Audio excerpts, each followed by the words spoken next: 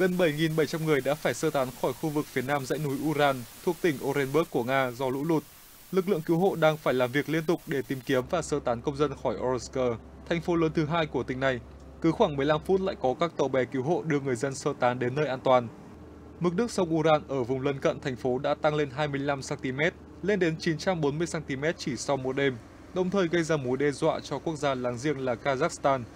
Bộ tình trạng khẩn cấp Kazakhstan cho biết hơn 96.000 người đã sơ tán kể từ khi bắt đầu xảy ra lũ lụt, ảnh hưởng đến các khu vực miền Tây, Bắc, Trung và Đông của nước này.